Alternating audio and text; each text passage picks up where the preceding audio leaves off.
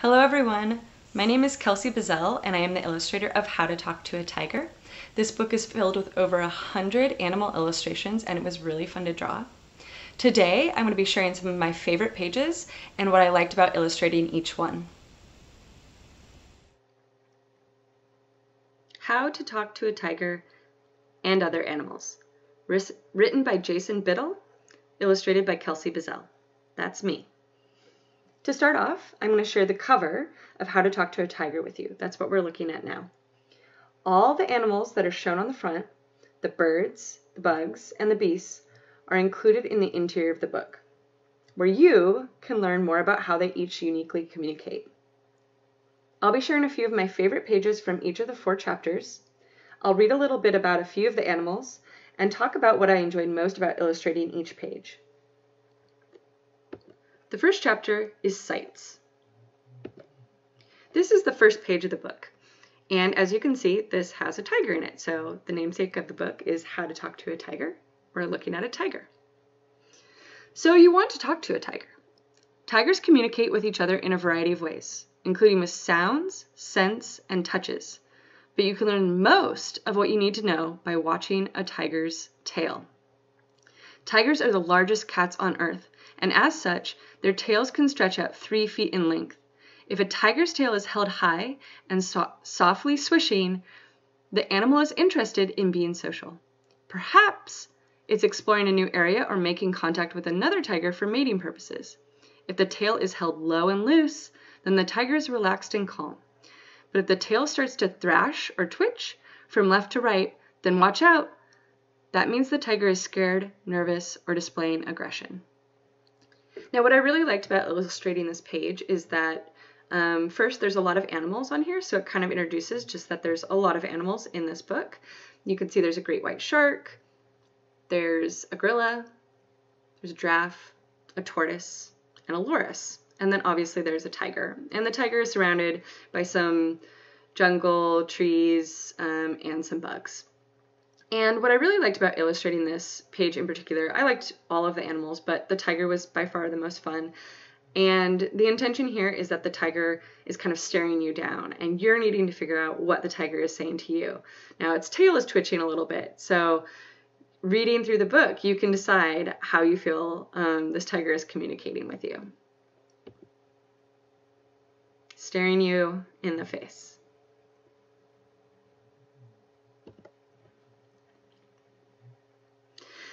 This, this page is also um, from Sights, and this one's called Plain Possum.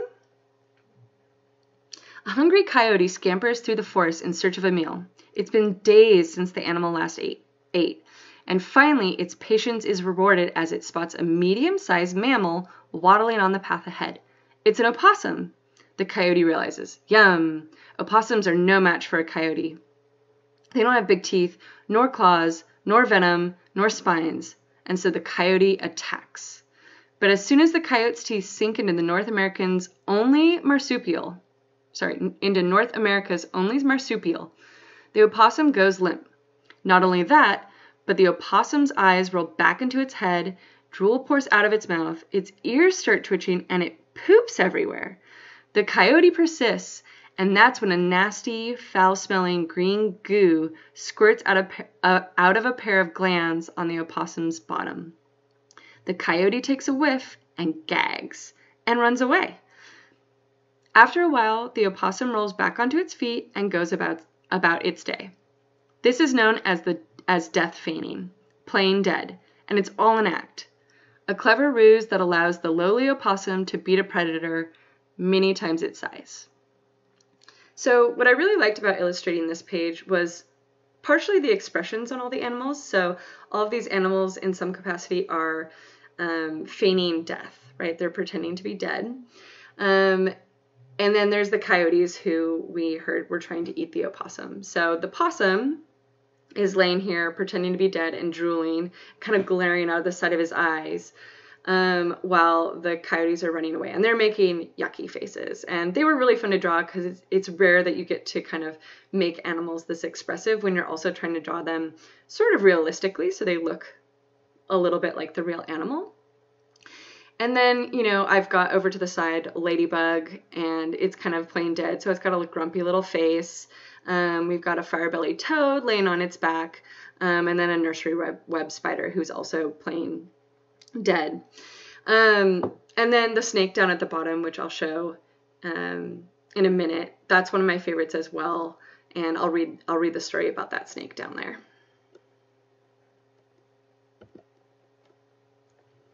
Star turn.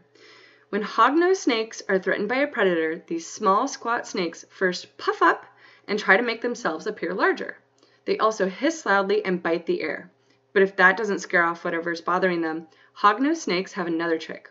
All at once, the serpents flip onto their backs, exposing their creamy white bellies, and begin to writhe, like they've just been tossed into a frying pan.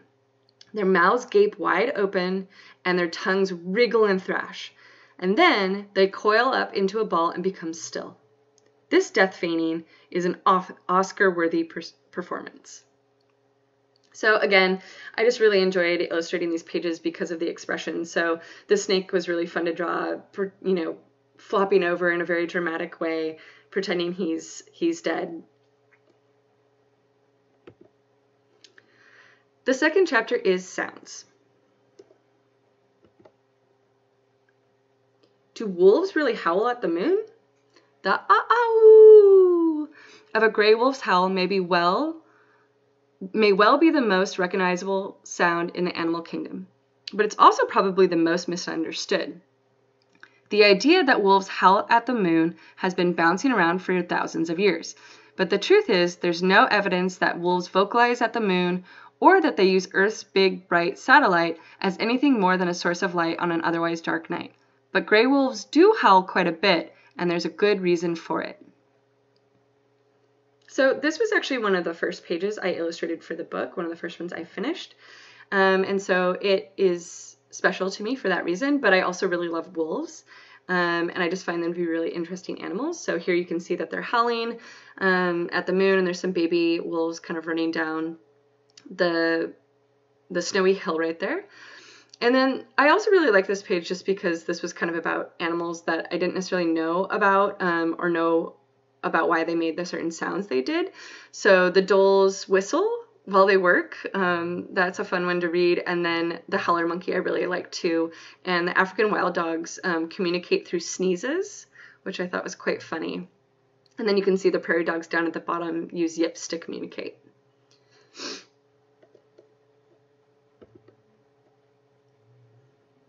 The world's loudest land animal. There's a species of monkey in the rainforests of Central and South America that is so loud that everyone calls them howler monkeys. The world's loudest land animal can be heard close to three miles away thanks to a big, hollow, U-shaped bone in its throat, known as the hyoid, which amplifies its roar. A howler's vocalizations advertises how big and bad it is to all the other males in the area.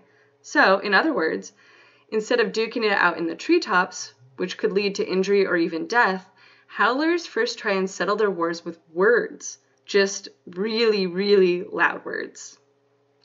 And I just really love drawing this howler monkey because he looks like he's yelling, and we don't know what he's yelling at, um, but he looks quite upset and worried, and I just got a kick out of that um, and really enjoyed drawing him.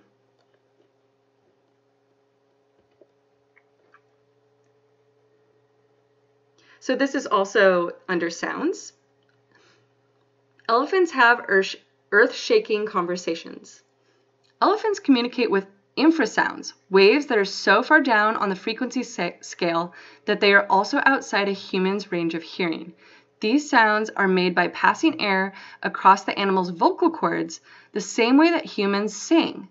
The only difference is that the elephant's vocal cords are eight times larger than ours, so the sound that comes out is lower in frequency. I really love elephants and I really love drawing these these ones in particular, especially with the birds that are kind of interacting with them. So the bird that's dancing to the side, um, listening for their sounds, and then the bird that's kind of hanging out on the back of the other elephant, and then the baby elephant, which is listening to the adult elephants talk.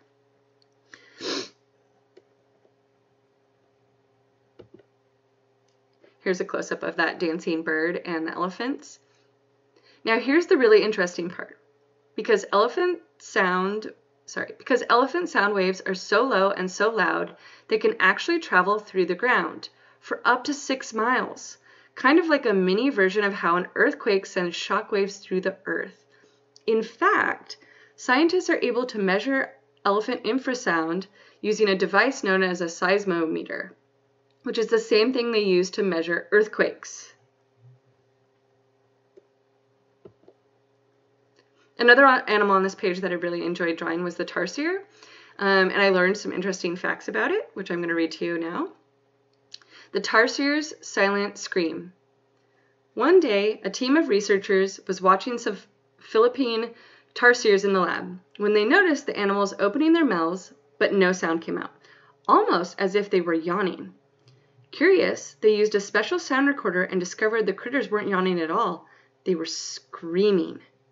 Tarsiers, it seems, are the world's only primates to screech in ultrasound, or pitches so high the human ear can't even register them as noise. Moths and katydids, some of the tarsiers' favorite foods, also make sounds in the ultrasonic range.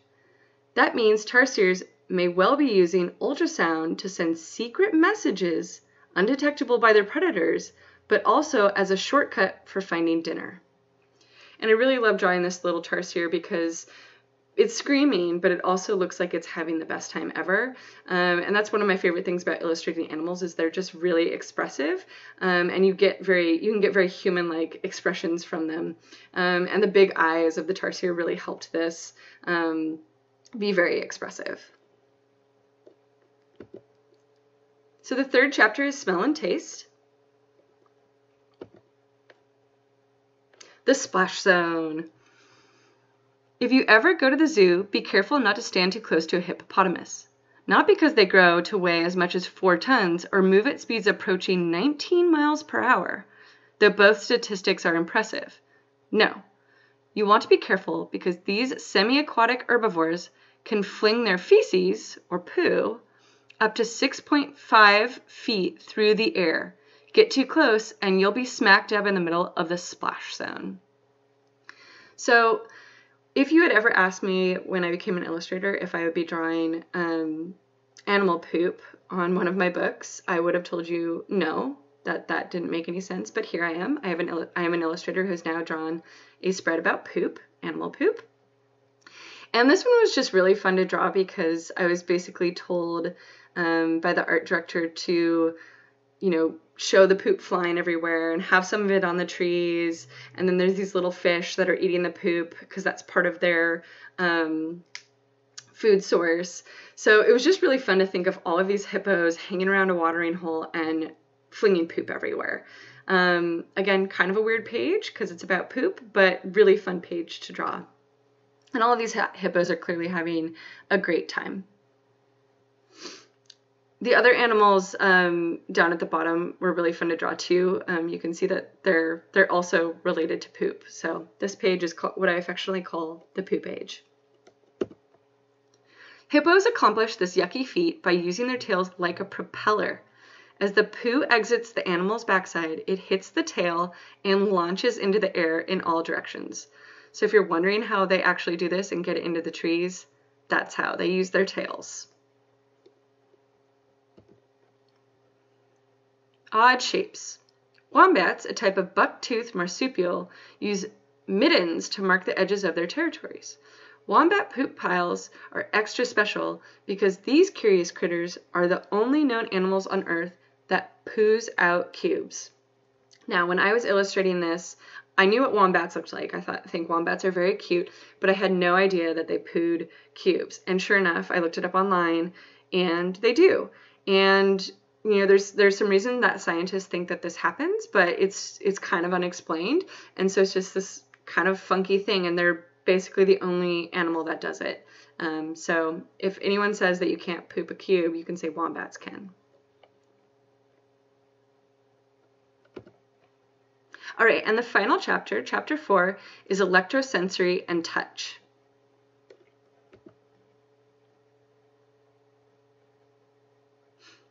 A whip scorpion's tender caress. Have you ever heard the expression, if looks could kill? That was most likely written about whip scorpions. Whip scorpions aren't actually scorpions, they're arachnids that rank up there on the list of creepy crawlies.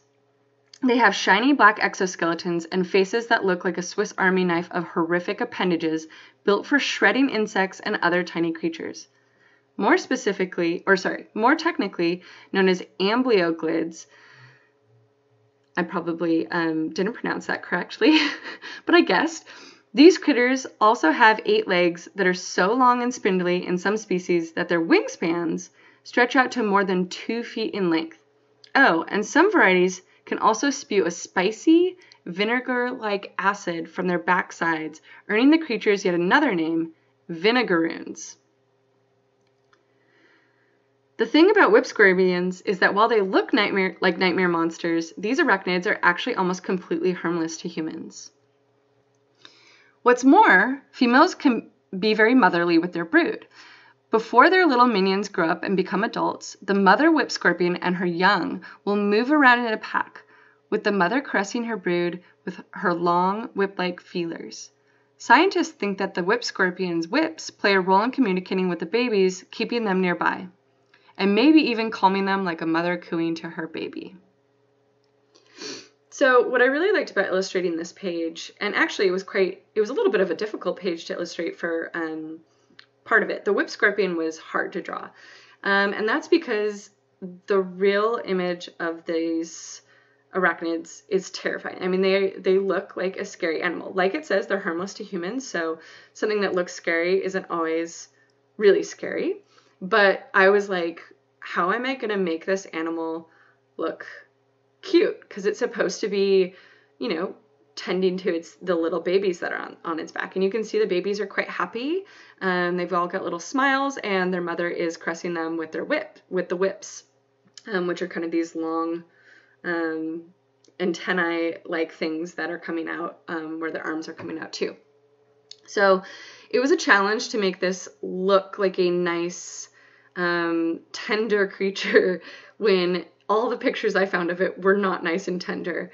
Um, you should look one up if you get a chance and see what they really look like, and then look at the picture in the book, and you'll see, um, you know, how that was maybe a challenge. I had to draw some spiders in this book too, and I never thought I would be drawing um, happy or cute spiders, but I did it in this book.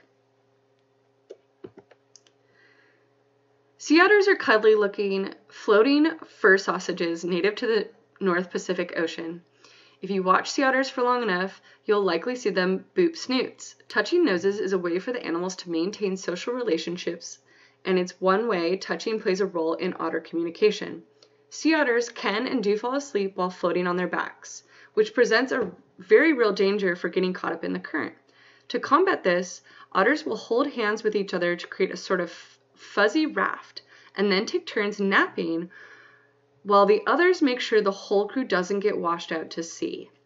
And I just really love this because I um, live in the Pacific Northwest, so um, I am very familiar with sea otters, but I actually didn't know that that's why they held on to each other. So learning that they're actually helping make sure that nobody gets swept out to sea, I felt like was a really sweet thing to learn um, about the otters.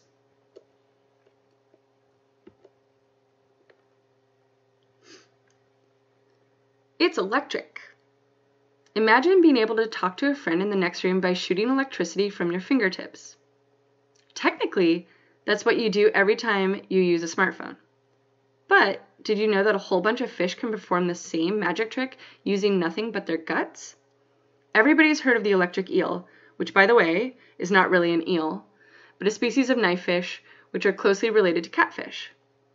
Electric catfish just doesn't have the same ring to it, though, does it? Electric eels are what's known as a strongly electric fish. These fish are capable of generating enough volts to zap anything around them, whether it's a crocodile trying to eat the electric fish for dinner or another fish that's that the eel wants to eat. The effect of all the underwater voltage is that, that the target animal's muscles seize up, paralyzing it, which gives the shocker a few moments to either make an escape or to slurp up an easy meal. And I really liked illustrating this um, page just because A, I think electric eels are really interesting creatures, and I didn't actually know that much about them or how they did this. Um, so it was great to learn about that. And then I also really like, you know, crocodiles and alligators, so drawing um, an alligator was really fun and just the interaction. You can see that the alligator is quite shocked um, by what's happening to him.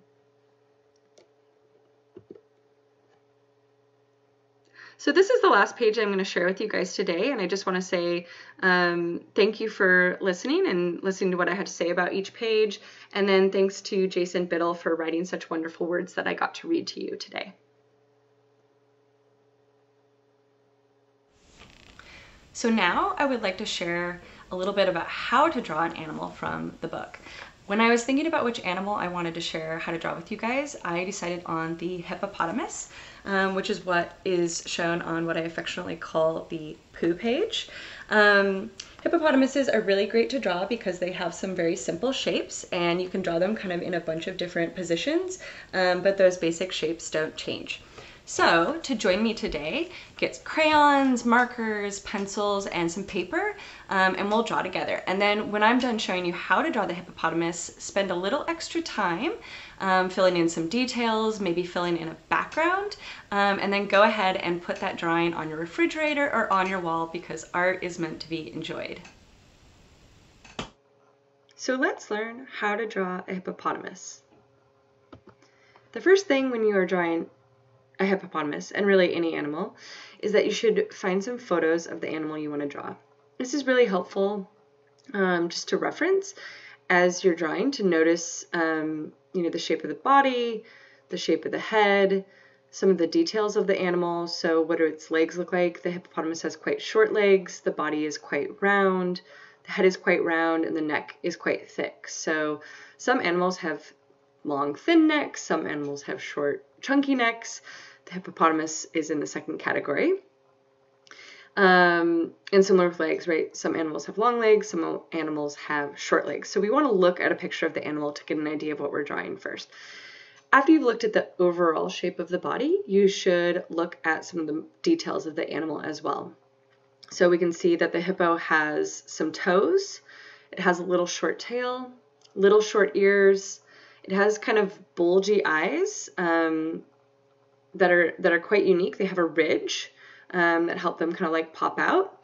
And then the snout is quite long and the mouth is quite large. So we want to kind of think about that as we think about drawing this animal. And there's other details you might notice. Um, the rough rough skin, there's no hair on this animal except on the tail, um, and there's some kind of rolls of fat around the neck. Those are things that you can add in as details later, and that will add your own unique kind of stamp to the animal. So to start drawing a hippopotamus, the first step is to draw the body. The body of the hippopotamus is a elongated circle, so that is kind of an oval shape.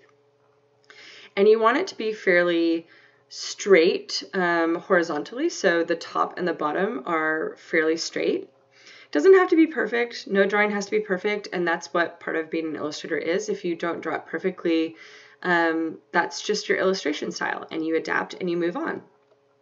So after you've drawn the body, you're going to go ahead and you're going to draw the head. Now the head of the hippopotamus, as we saw in the picture, it's it's a it's actually an oval too, but I like to make this as more of a bean-shaped oval, so we can see that there's a snout on one side and kind of the top of the head on the other. So you can see that there's a little dip in the top of this. Um, and as I add details to it later, um, you'll see how it looks more like a head. Next, we're going to connect the body and the head together. So that's just two simple kind of arc lines. And again, if we look at our photo of the hippo, if we remind ourselves of what that looks like, um, their necks are quite thick. And so make sure that's a, a quite, you know, there's enough room there um, between the two shapes, and so it's a very thick neck, not a thin, um, small neck. After that, we're going to draw the legs. And you can draw quite lightly for these circles. These are kind of the general shapes of the legs. Um, and again, these are elongated circles, so they are ovals ultimately. And I've made them a little bit smaller at the bottom where the feet will be and a little larger at the top where the legs connect to the body. Um, and that's just naturally the proportions of most legs and most animals where your leg gets a little bit bigger at the top. So I've drawn those in and when you're drawing legs, those can be really hard. Um, they're a little bit more simple in a hippo because the hippo's legs are so like stout um, or short that you don't have to worry about the joints quite as much. But if you have a really long-legged animal, um, you know, the, the leg might actually be a couple ovals to get the segments right. So they can be a little bit difficult. The main thing you need to remember is that there are um, four legs total and two legs are going to be kind of towards the front of us and two legs are going to be towards the back. So you can see that two of the oval shapes I've drawn are towards the front and crossing over the body, and then two are essentially disappearing behind the body. As long as there's two towards the back side of the animal and two towards the front, front of the animal, um, it should turn out okay. Next, we'll draw some details. So we'll start with the tail. This is a really simple little arc shape. Um, and you can draw it up higher, down a little bit lower. If you draw, want to draw it like the hippos on the poo page, um, you know, maybe it's swishing a little bit, so it's a little bit longer and a little bit higher. Next, we'll draw the ears. These are two simple arcs um, or loops, and they just connect to the head. So you'll see that they kind of join to that little bean shape I drew earlier. Um, and one is more towards the front and one is more towards the back. And then we'll draw the mouth. Now, if you look at the photo of the hippo, this mouth that I drew is not exactly how a real hippo's mouth looks. And part of the reason that I drew the hippo mouth, hippo's mouth like this, and but you'll see that in the books, is that I wanted the hippos to look like they were really happy. And so I had to kind of upturn the mouth at the end, which is where you see that kind of hook or that loop at the end.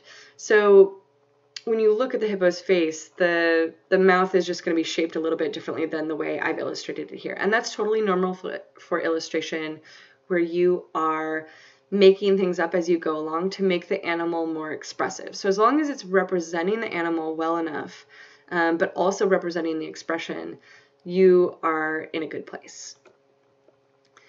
Next, we're going to draw another arc or another loop type shape. And this is going to be the ridge for those eyes. So when we looked at the hippo picture, remember that there was kind of a ridge around the eye. So that's the ridge right there. Next, you're going to draw the eye. And eyes and mouths, so we already drew the mouth, but eyes and mouths are very important parts of animals and people when we're drawing them. They're very expressive. So Mouths and eyes can show whether an animal is happy or sad or mad or looking to the side or looking down or sleeping or resting, whatever they're doing. The eyes and the mouth are going to help tell that story. So I've already made the hippo's mouth quite happy with that upturned end. And so the eyes are going to express that same thing. And this hippo, hippo is um, kind of looking back maybe towards a friend, maybe they're playing and they they have a happy eye basically. You could draw your hippo's mouth differently and you could draw the eye differently to express something different. So maybe it's a sleepy hippo or maybe it's so happy that its eyes are closed you might draw the hippo with closed eyes. Or maybe you want it looking forward. Maybe it's looking towards the watering hole. Um, and so you want to change the position of the eye. That is up to you as the artist. And so you can make that eye whatever you want it to be. Next, we're going to add the nose. And so this is another loop or an upside down arc. And that is just to kind of like help contain um, the space for the nose. And then the rest of the nose comes with the nostril. So that is the hole that the hippos breathe through. And hippos obviously use these when they're in the water, so um, their nostrils are quite important and um, they need them when they're swimming. Next, now if you, I'm going to go back to the first, the, the slide before really quickly, and then I'm going to go forward again. Next, you can see what I've added is just bolder lines. And what I've chosen to add bold lines to is essentially the outline of this animal form. This is allowing me to highlight the legs a little bit more. And you'll see I haven't added feet yet. That will come in a minute.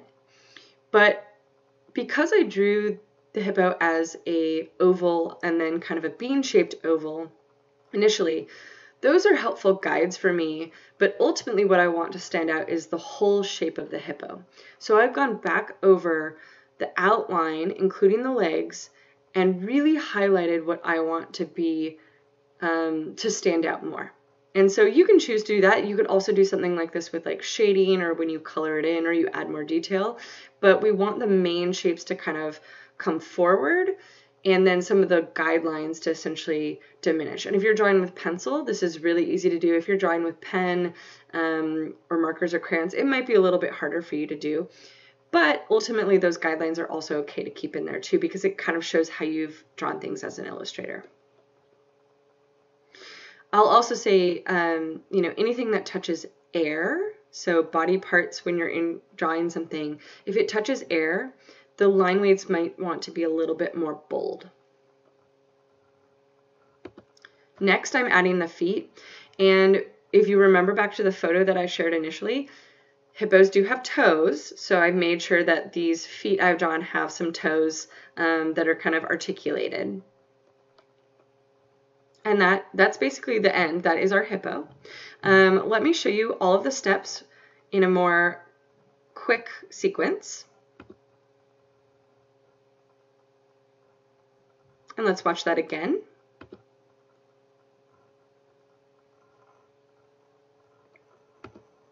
And one more time. So, as I said in my intro to this, please make sure you add some details. Go ahead and color this in. Um, you know, make it kind of a purpley pink like hippos are. Add in that rough skin. Maybe add some hair to the tail. And then add a background. Do you want it to be, um, do you want there to be some trees with some poop on them? Do you want it to be just, you know, hanging out in the watering hole? What do you want this hippo to be doing? And then when you're done with that, please go ahead and hang it up on the fridge, put it up on your wall, and enjoy it as your piece of art. So thank you. I hope you enjoyed drawing the hippo. Please rewatch this and draw as many hippos as you want. Um, go look at hippos um, on the internet. Go look at other animals on the internet and draw to your heart's content. Thank you.